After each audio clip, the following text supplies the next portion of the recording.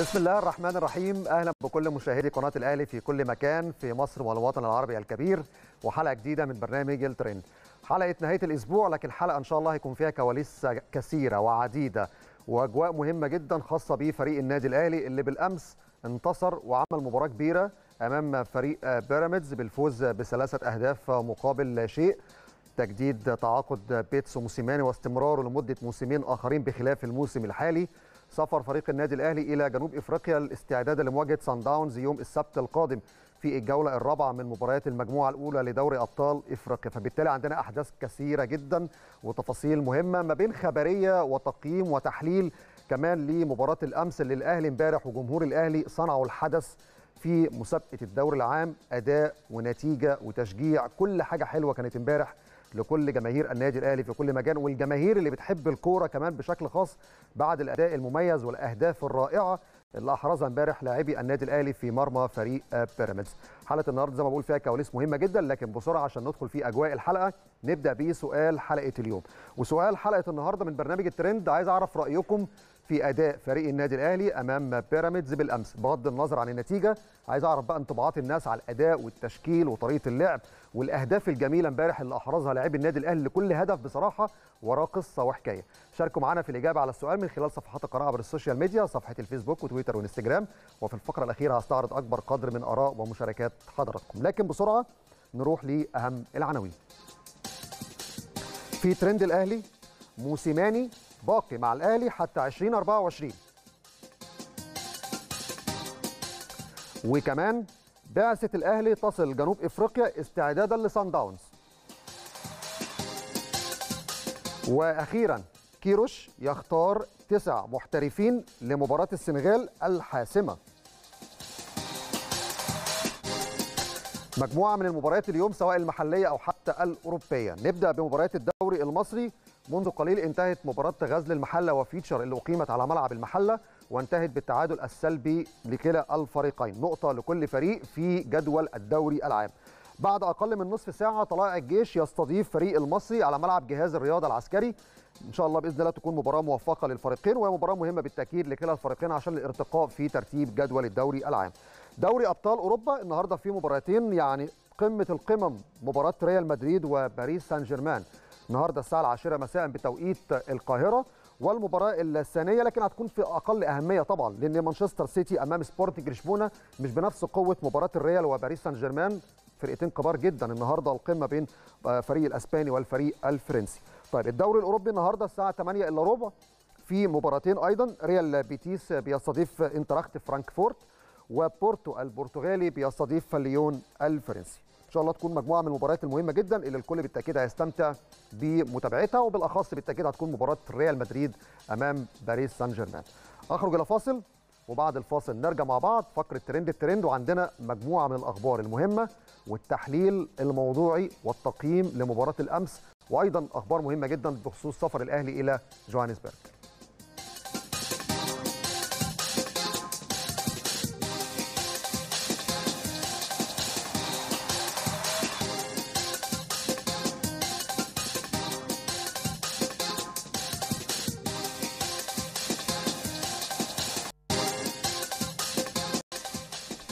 أهلا بحضراتكم من جديد والحديث عن مباراة الأهلي وبيراميدز بالأمس كانت مباراة مؤجلة من الجولة الثامنة والأهلي فاز بثلاثة أهداف مقابل لا شيء.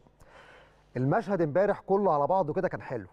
أداء ونتيجة وعودة الروح من جديد للمدرجات، امبارح المشهد كله كان سيمفونية من جميع الجهات. الجمهور امبارح إدى روح للماتش، إدى روح للملعب، سيبكم من الناس اللي بتحاول تسخن وتكتب كده بوستات ملهاش أي معنى وبتعمل إثارة بدون أي لازمة و... وإحنا خدوا بالكم إحنا داخلين على مع مباراة مهمة جدا لمنتخبنا الوطني وعايزين الجمهور يرجع ويكون فيه 60000 في مباراة مصر والسنغال جمهور الأهلي والزمالك والإسماعيلي وكل جماهير الأندية الشعبية. فالبعض اللي بيحاول يقول أصل الجمهور امبارح خرج عن النص الجمهور امبارح هو كان الكريزة بتاعة مباراة الأهلي وبيراميدز. جمهور الأهلي امبارح إدى مثل إزاي تعرف يكون لك دور في الضغط النفسي على المنافس عشان تقدر تكسب المباراة. ده مش أي حد يعرف يعملها. خدوا بالكم ضغط نفسي على المنافس بدون الخروج عن النص. ده مهم جدا. ده مهم جدا. اللي بيفهم في الكورة واللي بيفهم في لوغاريتمات الكورة ولغة الكورة في الملاعب وبالذات اللي بيتابع الكرة الأوروبية هيعرف ده. كلكم فاكرين لما انتقل لويس فيجو من ريال مدريد لبرشلونة إزاي كان في تأثير كبير جدا من الجمهور على أداء لويس فيجو في الكلاسيكو؟ وبالتالي ما طلعش كل اللي عنده في المباراة. ده بيبقى دور مطلوب من بعض الجماهير إن هي تقدر تأديه في المباراة طالما ما فيش خروج عن النص. وده اللي حصل امبارح. الجمهور امبارح عمل سيمفونية رائعة في التشجيع ومؤازرة الفريق وفي بالفعل كان لهم دور كبير جدا في الضغط النفسي على المنافس وقدر الأهلي امبارح بخبرات لاعبيه وبقدرات الجهاز الفني وبخطة اللعب وبالطريقة اللي لعب بيها موسيماني لأن امبارح كمان لعب بكذا طريقة. بس هتكلم على ده بعد شوية. لكن امبارح الجمهور لازم نديله حقه. جمهور الأهلي امبارح إدى المثل إزاي يكون ليه دور إيجابي. وده اللي أنا عايز أتكلم عليه بشكل أكبر الفترة الجاية. الأندية الشعبية لما جمهورها بيكون موجود في المدرجات بتفرق كتير قوي بتفرق كتير قوي. فالمكسب امبارح كان مهم جدا وانتصار الأهلي امبارح كان رائع جدا وعودة الروح للملاعب بوجود جمهور الأهلي ده كان شيء عظمة في مباراة امبارح على ملعب الأهلي والسلام. وده كان لازم نقوله النهارده في بداية الحديث عن المباراة عشان ندي الجمهور حقه. وفي نفس الوقت البعض اللي بيحاول بقى إيه يخرج عن النص ويكتب كلام ملوش معنى. أعتقد الرابطه عندها مراقب وعندها ناس بتفهم في الكورة فمش هتنساق ورا أي بوستات ولا أي كلام ملوش أي معنى في النطاق ده. نروح بقى للجزء الجزء الأهم لأن البعض كده لما بيبقى الأهلي كسبان وعامل نتيجة كبيرة بيبدأ كده يطلع لك بقى بعض الكتب الدراسية عشان يدينا بقى إيه بعض الدروس. وكلام طبعا ما بيبقاش منطقي ولا مفهوم بس نعدي كل الكلام ده ونروح بقى للكلام المهم. امبارح بيتسو موسيماني لعب 4 2 3 1 لعب 4 3 3 ختم ب 3 4 3 اجمالا كسب. البعض اللي بيحاول يتكلم على طرق اللعب والتحليل والتشكيل الراجل امبارح كان بينوع كان بيشكل بيبدأ ب بدون عمرو السولية في وسط الملعب. تحس كده امبارح هو كان بيدي درس في فنيات الكورة لبعض الناس اللي بتطلع تتكلم في التحليل أو بتتكلم في طرق اللعب والراجل عامل نتائج مميزة جدا. امبارح لما بدأش بالسولية الناس كانت قلقانة إزاي ما تبدأش بالسولية؟ ومع ذلك بصوا على السولية وهو نازل. مبتسم في رضا في قناعة منه برأي المدير الفني. والسوليه وهو نازل بيدي تعليمات للعيبة يعني هو بيستعد للتغيير بيدي تعليمات للعيبة. ده معناه إيه؟ معناه إن في هيد كوتش موجود على الدكة بيشتغل صح محضر لعيبته كويس وكمان محضر لعيبته إيه؟ ده لعب يوم السبت مع المريخ. إدى إجازة لحد يوم الاثنين دخل معسكر لعب الثلاث في حد بيحصل كده معاه في الدوري العام؟ مفيش على فكرة. الأهلي لعب تسع ماتشات في أقل من شهر. كل الفرق بلا استثناء حتى اللي بيلعبوا في أفريقيا كبيرهم لعبوا ست ماتشات. ومع ذلك الأهلي كسب. بيكسب بقى بالثلاثه وبالأربعة وبالخمسة. يمكن الجمهور امبارح حتى لما شاف النتيجة قال لك فزنا على الزمالك بخمسة فزنا على الإسماعيلي بأربعة فزنا على بيراميدز بثلاثه لا ده كده الكيرف بينزل. يعني حتى شوف إحساس الجمهور بالمكسب وصل لمرحلة الانتعاشه اللي عايشها جمهور الأهلي في الفترة الحالية رغم إن البعض قدر الإمكان بيحاول يصدر صورة سلبية على أي نتيجة بتحصل مع فريق الأهلي. لأن مفيش فريق في العالم بيكسب كل الماتشات أو حتى ممكن يكسب بأريحية في كل المباريات. اتكلمت على تغيير السوليه كمان لما خرج قفشة لما نزل حسين الشحات لما نزل لويس ميكيسوني. هدف عمرو السوليه امبارح. عارفين بقى ال R2 شغل البلاي ستيشن بقى وطريقة اللعب على البلاي ستيشن. حاجة حاجة فوق الوصف. والشيء المميز امبارح كمان رغم إن أنا امبارح سمعت تصريحات كانت بالنسبة لي غريبة من الكابتن إيهاب جلال بيقول لك الأهلي امبارح ما صنعش فرص كتير. لا الأهلي صنع فرص يا كابتن إيهاب. وفي نقطة ممكن تكون خافيه على حضرتك إنك عندك دايما في تفكيرك في الكورة أو في استراتيجيتك لأي فرقة أنت بتتولى مسؤوليتها إنك تبدأ الهجمة من تحت. تبدأ بناء اللعبة من أول حارس المرمى لخط الدفاع. أنت ممكن تعمل ده مع فرق تانية لكن قدام فرقة الأهلي المقصة لما لعب الأهلي المقصة خسر أربعة لما كان الكابتن إيهاب جلال بيقود المقصة. لما كان بيقود الزمالك خسر من الأهلي ثلاثة لما كان بيقود بيراميدز امبارح خسر من الأهلي ثلاثة اذا هي مش فكرة صناعة فرص. فكرة أنت تبقى مدرب عارف إمكانيات اللعيبة بتاعتك بتحتاج إيه وأنت محتاج إيه عشان تقدر تكسب. ما هو في جملة شهيرة بيقول لك إيه اللي تكسب بيه العب بيه. فممكن امبارح أكون صنعت فرصتين صنعت ثلاثة وأنت ممكن تكون صنعت 10 لكن أنا اشتغلت على أخطاء المنافس بشكل صح. فبالتالي امبارح النادي الاهلي كان بيلعب على التفاصيل. إيه هي بقى التفاصيل؟ ان المنافس كان بيلعب بطريقة لعب لا تليق بامكانيات اللعيبة اللي موجودة. فكرة ال sexy football وابدأ من أول حارس المرمى لخط الدفاع وابني الهجمة مش كل الفرق تعرف تعملها. فبالتالي امبارح خسارة امبارح نتيجة متوقعة نتيجة طريقة اللعب اللي كان بيلعب بيها الكابتن إيهاب جلال والتفكير المميز جدا والتحضير الرائع جدا لبيتسو موسيماني اللي البعض دلوقتي يقول لك إيه؟ هو راجل المهام الصعبة. دايما بيشتغل على المباريات الكبيرة. ما هو لو ما اشتغلش على المباريات الكبيرة مش هياخد بطولات. هي البطولات بتيجي منين؟ من ماتشات الفرق الكبيرة. ولو في ماتشات مع فرق صغيرة ممكن بتعمل نتائج سلبية معاك. الراجل حتى كأول سنة دوري خلاص فهم الدرس وعرف المسألة ماشية إزاي وبيكسب حتى الفرق اللي صاعدة للدوري الممتاز السنة دي بالثلاثه وبالأربعة. فبالتالي الحمد لله المشوار ماشي كويس جدا والنتائج لغاية دلوقتي مميزة. امبارح في المكان ده قلت تشكيل الأهلي امبارح قلت امبارح هنا في المكان في برنامج الترند قلت تشكيل الاهلي هيكون فيه مفاجآت وبالفعل حصلت كذا مفاجأة في التشكيل. السولية ما كانش أساسي بدأ بياسر إبراهيم بدأ ببيرسي تاو فبالتالي كان عنده كذا لقطة في التشكيلة امبارح قدر بيتسو موسيماني يلعب على إن هو يقفل مناطق اللي ممكن يكون فيها بعض لقطات أو بعض الأماكن اللي يكون فيها مشاكل فنية في المباريات السابقة وقدر يعالجها وفي نفس الوقت يبني عليها بشكل جيد عشان يكون في عناصر بديلة تنزل وتكمل وده ظهر لما نزل عمرو السولية. طيب اللقطة المميزة اللي عايز أتكلم عليها امبارح ومن وجهة نظر أي حد فاهم في الكورة وفاهم في التحكيم امبارح كانت رمضان صبحي كارت أحمر. يمكن الغلطة الوحيدة امبارح لحكم المباراة الكابتن محمود البنا والكابتن أحمد الغندور إن لقطة رمضان صبحي مع ياسر إبراهيم كان كارت أحمر الناس هتقول لي ما هو يعني ما كانش فيه احتكاك جسدي قوي أو الخبطة اللي عملها رمضان لياسر إبراهيم ضعيفة. لا ما فيش في القانون الكلام ده. في في القانون حاجة اسمها السلوك الجسدي. فاكرين مباراة الهلال السعودي مع الأهلي في كأس العالم للأندية؟ لاعب الهلال السعودي لما عرقل ياسر إبراهيم في منطقة الجزاء بدون كرة كانت برضه علقره خفيفة. لكن هنا الفار استدعى الحكم وراح بص على اللعبة ورجع اداله كارت أحمر. السلوك الجسدي في قانون كرة القدم بيقول إيه؟ هنا أهو قدامكم هي هتشوفوا دلوقتي اللعبه على الشاشة. آه خلاص الكرة مش معاه بص بركبته دخل في العضلة الخلفية لياسر إبراهيم. ده سلوك جسدي. السلوك الجسدي هنا معناه إيه؟ كارت أحمر مباشر. لو الكابتن محمود البنا في الملعب ما خدش باله واعتبر إن في احتكاك حصل فاداله انذار كان يجب على أحمد الغندور امبارح إن هو يستدعي محمود البنا ويشوفها في الفار. لكن أنا مش يعني مش عايز أقول إن محم... يعني أحمد الغندور ممكن يكون راجع من إسماعيلية أول امبارح. مش مركز في اجهاد ذهني مش واخد باله. بس دي لعبة مؤثرة. لما بيراميدز امبارح يلعب بدون رمضان صبحي ويبقى 10 لعيبة لا لعبة مؤثرة. أنا عجبني امبارح بصراحة بعض محللي التحكيم لما قال عليها على طول دي كارت أحمر. عجبني جهاد جريشه لما قال عليها كارت أحمر. امبارح أنا استغربت من تحليل الكابتن أحمد الشناوي لما قال هي يعني خبطة خفيفة. مفيش حاجة اسمها خبطة خفيفة في القانون يا كابتن شناوي. ده سلوك جسدي موجودة في القانون ما بين قوسين. سلوك جسدي كارت أحمر direct. والفار ده دوره يعمل كده. فامبارح كان في خطأ مؤثر في مباراة الأهلي وبيراميدز. أنا كسبان ثلاثة لكن في خطأ امبارح لو كان احتسب لي كان ممكن أكسب أربعة وخمسة. ما ثلاث نقاط بس ممكن أكسب سكور. أربعة وخمسة وستة إيه المشكلة؟ لكن ده خطأ أثر في شكل المباراة امبارح وكان المفروض رمضان صبحي امبارح ياخد الكارت الأحمر. طيب ده كده اجمالا الحديث على مباراة الأهلي وبيراميدز والنتيجة الكبيرة. الأهلي تصدر ولسه ليه مباراة مؤجلة. وفرق النقاط إن شاء الله هيبقى أكبر. فرق خمس نقاط هيبقى عن بيراميدز بإذن الله وست نقاط عن فريق الزمالك. ولسه المشوار طويل لكن أنا بقول لكم قبل نهاية الدور الأول الأهلي بيسعى إن يبعد فارق النقاط عن أقرب المنافسين. بدري بدري كده عايزين نخلص عشان نركز في أفريقيا. طيب الجزئية الجزئية الثانية وهو تجديد عقد بيتسو موسيماني لمدة عامين قادمين.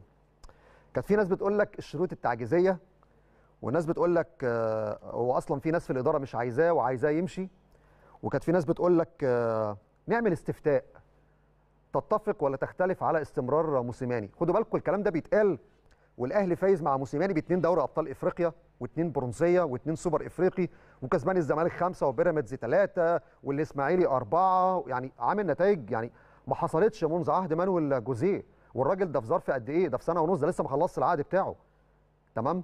لكن كان بتتقال تفاصيل كتير قوي وإحنا هنا طلعنا نفينا كتير لدرجة امبارح أنا لما الخبر نزل على الموقع الرسمي ياه!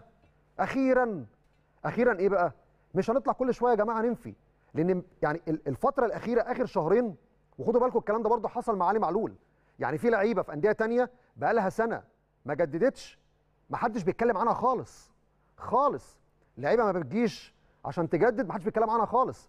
لكن علي معلول ما بيتكلمش. والاهلي قال إن خلاص الموضوع خلص وهنعلن في التوقيت المناسب. لا نتكلم. إزاي علي معلول ما يجددش؟ علي معلول جدد. نروح بقى على موسيماني. طب موسيماني جدد. إيه بقى؟ إيه الخطوة اللي جاية؟ أليو ديانج؟ أنا برضو أفتح معاكم كده كلام ممكن نروح يعني نشوف وجهات النظر الفترة الجاية هيبقى الكلام على إيه؟ أليو ديانج؟ عرض ب 20 مليون. ديانج عايز يمشي. ما هو ده ممكن يتقال. بس خدوا بالكم لسه الانتقالات في شهر 9 الجاي. فبدري بدري يعني الكلام ده برده مش هيبقى يعني إيه شغال معانا لسه ست شهور. فما فيش كلام زي ده هيحصل في استقرار فني في استقرار إداري. طيب معاني الخبر المتعلق بتجديد موسيماني. ركزوا في تفاصيل المعاني اللي مكتوبه ما بين السطور. انطلاقا من ثقة النادي الأهلي الكبيرة في مديره الفني بيتسو موسيماني وترجمة للإنجازات العديدة التي حققها مع لاعبيه وجهازه المعاون خلال الفترة الماضية. تعلن إدارة النادي عن تجديد عقد موسيماني لمدة عامين قادمين بخلاف الموسم الحالي.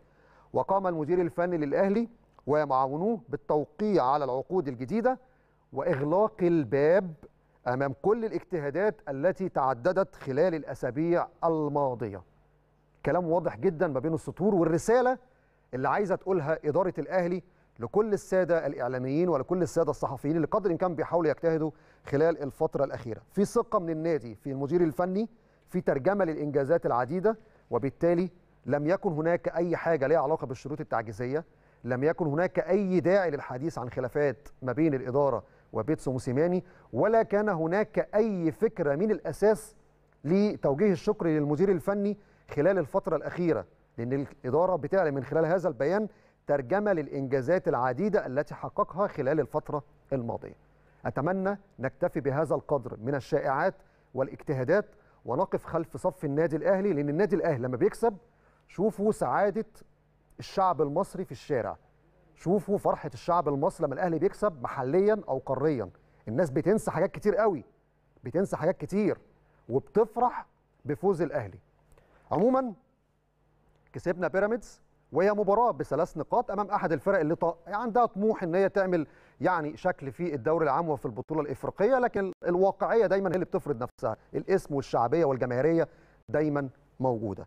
بيتسو موسيماني زالين أوف كينج الأسد الملك. كان قبل كده قال على أكرم توفيق مفاسه لكن هو بصراحة هو الأسد أو هو الملك المتوج على عرش الكرة المصرية والكرة الإفريقية.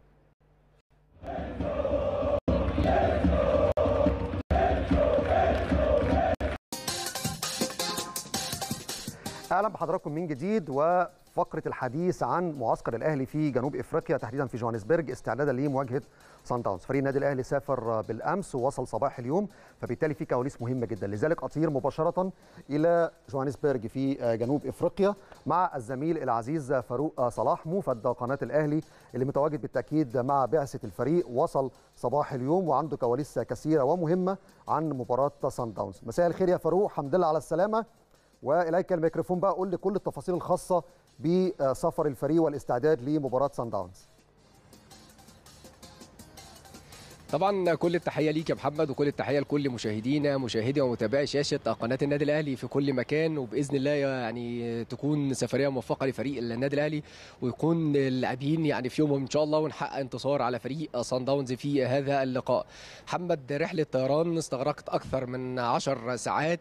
طبعا عقب الفوز على فريق بيراميدز بثلاثية كبيرة اللي أضفت مزيد من ارتفاع الروح المعنوية والسعادة عند لاعبي النادي الأهلي. لكن زي ما أنت عارف يا محمد يعني يعني خلاص تعودنا على شخصية لعيبة النادي الأهلي. الانتصار والفرحة كانت خلال يعني غرف خلع الملابس ثم لدى وصول اللاعبين إلى مطار القاهرة. خلاص في هدف تاني في طموح تاني في مهمة تانية. انت عارف بتطلع من تحدي لتحدي من طموح لطموح.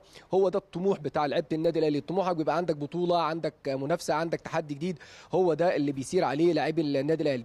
طبعا كان الوصول لاعبي النادي الأهلي إلى مطار القاهرة بالأمس طبعا في البعثة اللي بيرقصها الدكتور محمد شوقي عضو مجلس إدارة النادي الأهلي طبعا وبرفقته الكابتن الأستاذ طارق أنديل والكابتن حسام غالي. خليني أقول لك إن الكابتن محمود الخطيب رئيس مجلس إدارة النادي الأهلي من وصول اللاعبين لمطار القاهرة حريص على الاتصال بالأستاذ محمد الدكتور محمد شوقي ومتابعه متابعة كافة التفاصيل وكافة الأمور الاطمئنان على بعثة النادي الأهلي. طبعا زي ما قلنا محمد رحلة طيران استغرقت أكثر من 10 ساعات. كان وصولنا إلى مطار جوهانسبرج في تمام الساعة الحادية عشرة والنصف صباحا بتوقيت جنوب أفريقيا. اللي هو يا محمد نفس توقيت القاهرة يعني التوقيت بالظبط يعني الواحد ما بين القاهرة أيضا وجوهانسبرج. يعني لدى وصولنا للمطار كانت الأمطار بغزارة في استقبال فريق النادي الأهلي. إن شاء الله تكون بشرة خير للنادي الأهلي. كانت الأمطار وكانت يعني سقوط أو هطول الأمطار اليوم آه، خلال الفترة الماضية ما كانش في سقوط أمطار كان سقوط الأمطار اليوم. أيضا كان آه، توافد عدد كبير جدا من وسائل الصحافة والإعلام بجنوب إفريقيا طبعا للاحتفال أو الاستقبال للنادي الأهلي وأيضا الحديث عن تجديد عقد مستر بيتسو موسيماني. آه، اهتمام بالغ من وسائل الإعلام هنا في جنوب إفريقيا بتجديد ع- عقد مستر بيتسو آه، موسيماني ومواجهة الأهلي مع سان داونز. كتير من المواقع اتكلم على إن خلاص مواجهة بقت معتادة في دوري أبطال افريقيا أيضا كان في استقبال بعثة فريق النادي الأهلي سفير جمهورية مصر العربية لدى جنوب إفريقيا. أستاذ أحمد الفضلي سفير جمهورية مصر العربية أيضا والأستاذ كريم الخشاب سكرتير السفارة اللي كانوا حريصين على يعني إنهاء كافة الإجراءات طبعا على الكابتن سمير عدلي الكابتن سيد عبد الحفيظ. ثم التحرك يا محمد من المطار جوهانسبرج إلى مقر إقامة فريق النادي الأهلي اللي بيبعد عن المطار يعني ب 35 دقيقة. سريعا طبعا كان يعني الدور الكبير جدا اللي بيقوم بيه الكابتن سمير عدلي مع الكابتن سيد عبد الحفيظ. سريعا كان تم إنهاء كافة الأمور صعد اللاعبين إلى الغرف. طبعا مستر بيتسو موسيماني خليني أقول لك لأكثر من شق بنتكلم عليهم. النهارده أفضل إن يكون في راحة للاعبين لكن يا محمد يعني وإحنا موجودين مع اللاعبين على الطائره كان جلسات الاستشفاء وأجهزة الاستشفاء الموجودة مع اللاعبين على الطائره آه، أمور كتير جدا مهمة من من اللاعبين في ال يعني ال ال العمليات الاستشفاء وال recovery اللي طبعا الدكتور أحمد أبو عبلة يعني ال- خلال العشر ساعات عمال يتابع اللاعبين في كافة ال- الأمور. ودي طبعا شخصية لعيبة ال- النادي الأهلي. طبعا اليوم كان آه، راحه من التدريبات اكتفاء بس يعني بعض التدريبات في ال- الجيم آه، تدريبات خفيفة لبعض اللاعبين. آه، من الأمور المهمة برضو يا محمد وإحنا بنستعرض برضو كواليس السفر كان روجر المدرب المساعد لمستر كيروش كان حريص إن هو يكون موجود معانا على الطائرة المتجهة إلى جوهانسبرج ومن المنتظر إن هو يكون موجود إن شاء الله يتف- يتفرج ويتابع المباراة مباراة الأهلي وصن داونز اللي تقام على ملعب سوكر سيتي يوم السبت القادم في تمام الساعة الثالثة. كان ليا حديث معاه نتكلم على اللاعبين نتكلم على مباراة مصر والسنغال. المواجهة صعبة جدا لكن إن شاء الله إحنا عندنا ثقة في اللاعبين. تطرقنا طبعا لمباراة الأهلي وبيراميدز وأشاد بلاعبي النادي الأهلي ومستوى لاعبي النادي الأهلي واشاد بمستر بيتسو موسيماني. أيضا يتكلم ومعاه يعني نقدر أمور خاصة لقناة النادي الأهلي محمد. اتكلم على مستوى محمد هاني واشاد بمستوى محمد هاني ومحمد مجدي وقال إن كلام كتير بيدار خلال يعني داخل الجهاز الفني إن شاء الله لاستدعاء محمد هاني ومحمد مجدي قفشة لمباراتي السنغال للمنتخب ال- ال- المصري أمور كلها محمد تقدر تقول بتسير على أكثر من تمام. شكل أكثر من من رائع طبعا أنت من الم... تمام يا طب محمد فاروق، آه، أمور أكثر بتش... آه،. عايز أسألك يعني بس- بتسير بشكل أكثر من رائع فاروق عايز أسألك على. نقطة مهمة جدا قلت لي في أمطار وكل حاجة والجو كويس بس في رطوبه ولا ما فيش رطوبة؟ دي جزئية. الجزئية الثانية هسألك على محمد هاني. امبارح خرج ونزل كريم فؤاد بسبب إصابة والجهاز الفني فضل يريحه. آه، طمني على إصابة هاني. يلحق إن شاء الله ماتش سان داونز ولا إيه التشخيص بالنسبة للدكتور أحمد أبو عبله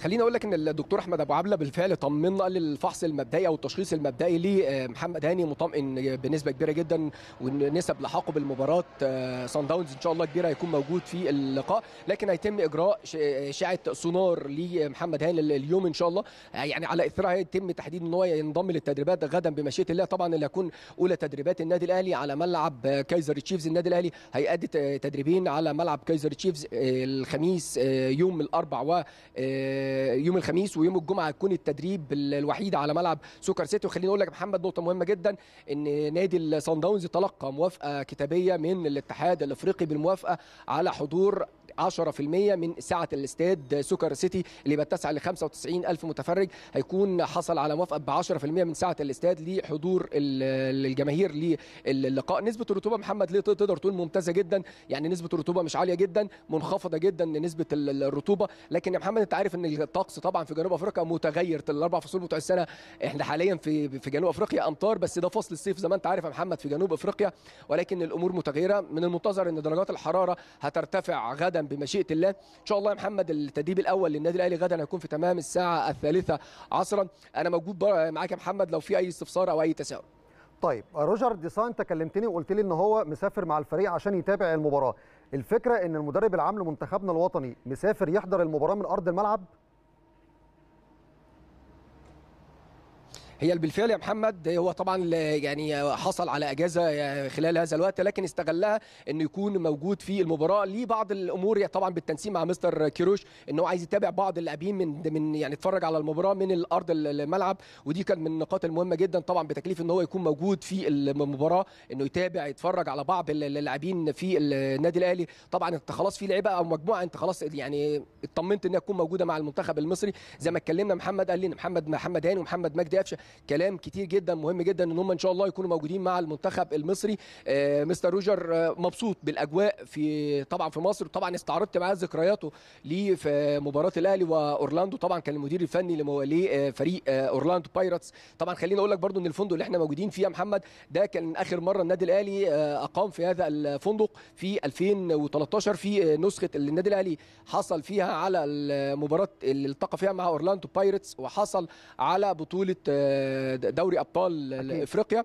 تقدر تقول يا محمد الأمور إن شاء الله مهيئه الأمور مميزة إن شاء الله. نكلل بالانتصار في هذه المباراة بإذن الله. بإذن الله. الزميل العزيز فاروق صلاح موفد قناة الأهلي في جوهانسبرج مقيم ومتواجد بشكل دائم مع فريق النادي الأهلي لمتابعه كل الأخبار والكواليس قبل مباراة سان داونز يوم السبت القادم. شكرا جزيلا يا فاروق وكل التوفيق ليك ولأفراد البعثة.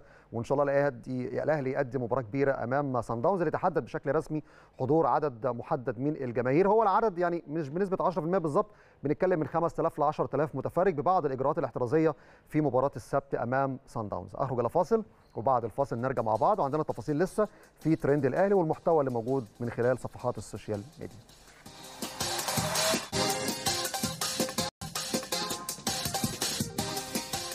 أهلا بحضراتكم من جديد وترند الاهلي. نروح مع بعض نشوف ال social media. اول حاجة الحساب الرسمي للنادي الاهلي بيتكلم على قمه الدوري. الحساب الرسمي للنادي الاهلي على تويتر قمه الدوري 28 نقطة. اقوى خط هجوم ب 30 هدف بمعدل 3 اهداف في كل مباراة واقوى خط دفاع ب 8 اهداف. ارقام قياسية جيدة في بداية هذا الموسم. حساب يلا كوره أيضا على تويتر بيتكلم على نتائج الاهلي امام الفرق الكبرى هذا الموسم حتى الان. فوز على الاسماعيلي 4-0 فوز على الزمالك بالخمسة فوز على مونتري بهدف مقابل لا شيء الخسارة أمام بالميراس 0-2 الفوز على الهلال السعودي 4-0 والفوز على بيراميدز 3-0 طيب نروح لحساب في الجول بيتكلم على مدرب الموسم الواحد. بيتسو أثبت للجميع جودته كمدرب كبير حقق خمس بطولات في الفترة التي قضاها على رأس الجهاز الفني للأهلي. اثنين دوري أبطال إفريقيا اثنين سوبر إفريقي واحد كأس مصر اثنين برونزية كأس عالم أندية لعب 83 مباراة فاز في 59 خسر سبعة وتعادل في 17 مباراة وكل ده هو لسه ما كملش سنة ونصف. سبورت 360 مصرية من خلال حسابها على تويتر بيتكلموا على عمرو السولية. أفضل خط وسط في مصر حاليا هل تتفق؟ أتفق وبشدة. محدش يقدر يختلف على ده أفضل لاعب في مصر بصراحة خلال هذه الفترة الموسم ده والموسم الماضي. كورة بلس بيتكلم على السولية. يعود إلى التشكيل الأساسي للأهلي أمام سان داونز هو ده جزء من ال rotation اللي عمله بيتسو موسيماني في مباراة بيراميدز. البعض كان متخوف قال لك هيريح الأساسيين إزاي؟ ده ماتش كبير ومهم. الأهلي يا جماعة بمن حضر بلاعب البيراميدز بلاعب الزمالك بلاعب أي حد في مصر. ال11 اللي ابداوا المباراة زيهم زي اللي قاعدين على الدكة أو حتى اللي بره القايمة. فبالتالي سوليه كان مريح هذه المباراة عشان يكون أساسي بإذن الله في مباراة سان داونز وال23 لاعب اللي تم استدعائهم لمباراة سان داونز إن شاء الله هيكونوا كلهم جاهزين. نروح لحساب اليوم السابع بيتكلموا عن إن الأهلي يواجه سان داونز على ملعب نهائي كأس العالم. طيب ده بشكل رسمي والخبر ده إحنا انفردنا بيه الأسبوع الماضي تقرر بشكل نهائي نقل هذه المباراة إلى ملعب سوكر سيتي ملعب البنك الوطني. في جوهانسبرج. الملعب ده بيسع لحوالي 97 ألف متفرج. عدد الجمهور 5000 ألف مشجع مع الإضافات اللي ممكن تحصل خلال الساعات القادمة لن يزيد عن 10000 فبالتالي أقل من 10% من سعة الملعب. المباراة الساعة 3 بقيادة تحكيمية للحكم الأثيوبي مملاك تسيما وكل التوفيق للأهلي. الملعب ده ملعب نادي كايزر تشيفز يعتبر سان داونز غريب عليه زيه زي الأهلي. إن شاء الله تبقى فرصة كويسة وأنا عندي ثقة إن الأهلي بقيادة موسيماني هيقدر يرجع إن شاء الله بنتيجة إيجابية من جوهانسبرج أخرج إلى فاصل وبعد الفاصل نرجع مع بعض. عندنا كلام مهم جدا أيضا في الترند المحلي وباقي فقرات برنامج الترند.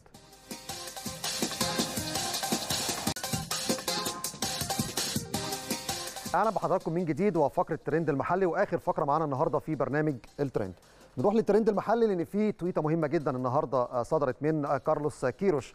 المدير الفني لمنتخبنا الوطني أعلن فيها قائمة المحترفين لمباراة مصر والسنغال الحاسمة. هو الطبيعي والمنطقي تعلن من خلال الموقع الرسمي لاتحاد الكره لكن النهارده كيروش يمكن نشرها من خلال حسابه الرسمي على تويتر. يمكن الأسامي إحنا بنتكلم في تسعة لعيبة محترفة. كريم حافظ في مالاتيا سبورت التركي محمد النني أرسنال محمد صلاح ليفربول مصطفى فتحي في التعاون السعودي مصطفى محمد في جالاتا سراي. تكملة طبعا باقي التغريدة. أحمد حسن كوكا في كونيا سبور التركي أحمد ياسر ريان في التاي التركي عمر مرموش في شتوتغارت الألماني ومحمود حسن تريزيجيه في باشاك شهير إسطنبول التركي ده التسعة المحترفين اللي استدعاهم كارلوس كيروش لمباراة مصر والسنغال وإن شاء الله يكونوا موفقين في المعسكر القادم. إعلان قائمه اللاعبين المحليين على فكرة هتكون يوم 20 من الشهر الجاري عقب المباريات الإفريقية للأهلي والزمالك وبيراميدز والمصري. طيب رياضة بوابة الأهرام بتتكلم على إن كروش هيدرس ضم أربع حراس مرمى لمعسكر منتخب مصر استعدادا لمواجهة السنغال.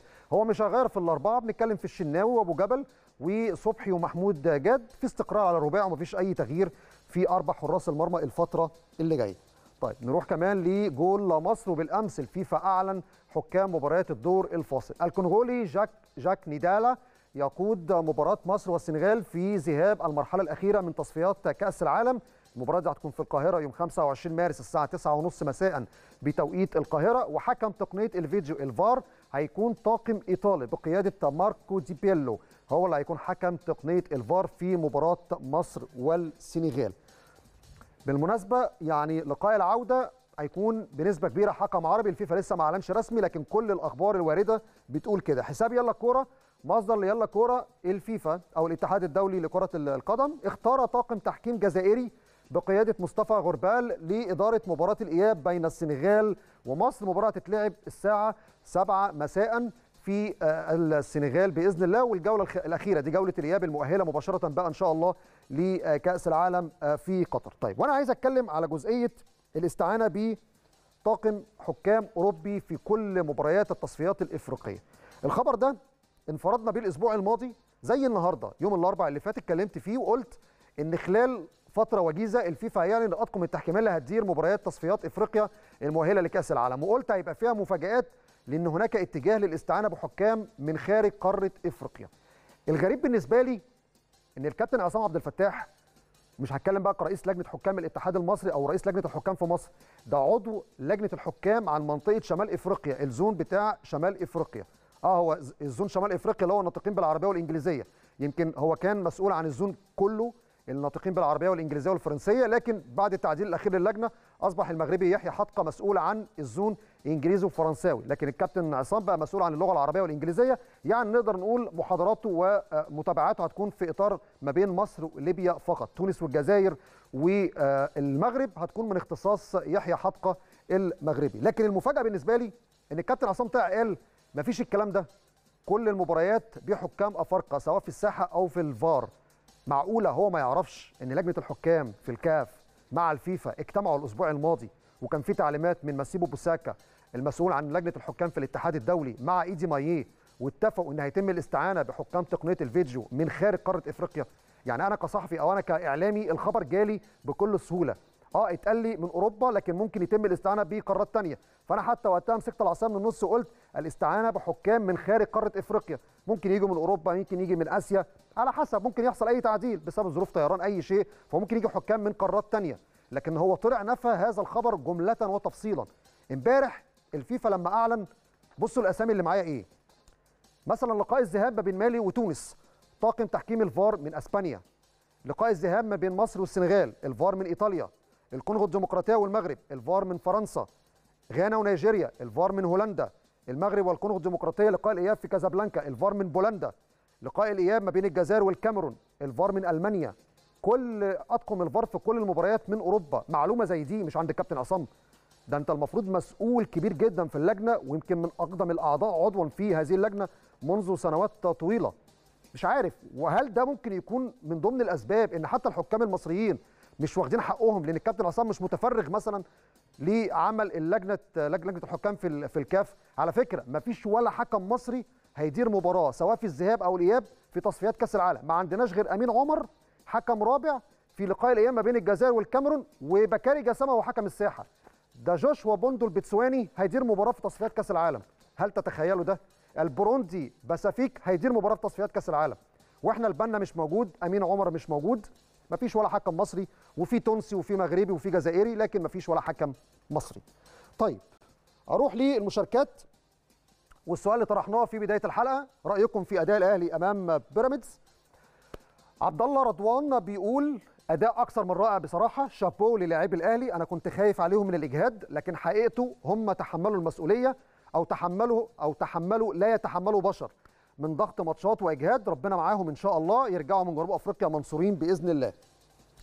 رأي تاني معايا علي بيقول أداء مزيكا وإن كان هناك بعض الملاحظات ولكن نظرا للإجهاد اللي فيه اللاعبين بالروح والعزيمة نقدر نكسب أي فريق وإن شاء الله نتيجة إيجابية مع سان داونز والإطمئنان على الصعود بإذن الله. أنا كنت أتمنى آخد كل الآراء والمشاركات لكن والله وقتنا ضيق جدا. في الختام بشكر حضراتكم بالتأكيد على حسن المتابعة والمشاهدة. وبإذن الله نلتقي على خير الأسبوع القادم في حلقة جديدة من برنامج الترند. شكرا وإلى اللقاء.